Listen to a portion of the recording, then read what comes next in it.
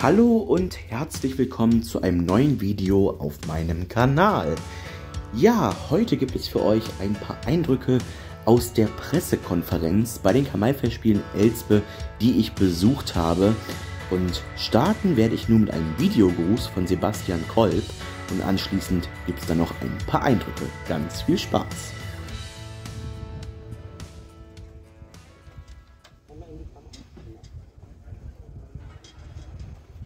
Gott zum Gruße.